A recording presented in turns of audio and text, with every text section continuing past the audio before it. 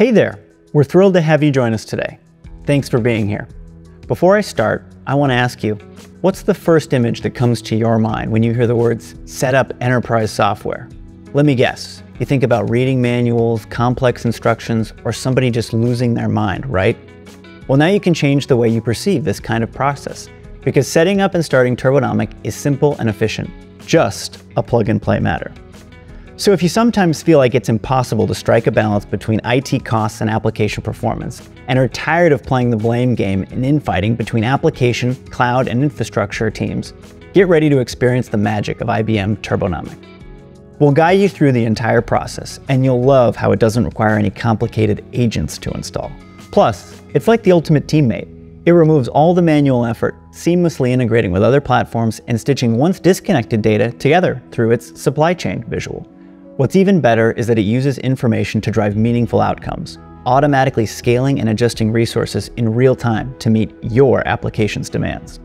Are you ready to witness the superpower of Turbonomic? Let's see how quick and simple it is to set up in seven simple steps. Deployment option. Turbonomic is offered as a SaaS or self-hosted application. Contact us to get set up with your own SaaS instance or license key for self-hosted. Access interface from web browser. Open your web browser and enter the URL for your Turbonomic instance. You'll be taken to the Turbonomic login page. Enter your credentials to access the interface. License key. If you have a self-hosted instance, you'll be prompted to add your license key next. Add a target. The next step is to add a target for the first time. A target is the hypervisor, cloud account, or Kubernetes cluster that you want Turbonomic to manage. To add a target, click on the Add Target button and follow the prompts. You'll need to provide information such as the target's name, IP address, and credentials. Seeing data. Once you've added a target, you'll begin to see data in the Turbonomic interface. The data includes all the target entities, their resources and utilization levels, and information such as CPU usage, memory usage, and network traffic. Supply chain, your application infrastructure stack. Turbonomic will automatically discover, map, and analyze your environment to create a supply chain. This illustrates the supply and demand of resources between each entity in the environment. How Turbo aligns the demand for resources from the application to the supply of resources from the infrastructure is what makes it so unique. Turbonomic takes action automatically.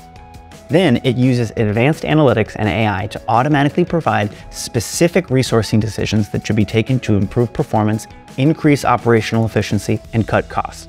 These actions include moving, resizing, or suspending workloads, provisioning or deprovisioning resources, and deleting waste. When I said plug and play, I really meant that. Are you ready to set up and start running Turbonomic for yourself? Deploying and configuring IBM Turbonomic is swift, and you'll start seeing actionable resource decisions within 30 minutes of deployment. Plus, you get full stack visibility like never before. Get ready to take your workload management to the next level. Be sure to check out the next video on the seven part series on Turbonomic. Decisions, not alerts. Click the link to request a demo and get access to your very own Turbonomic instance today.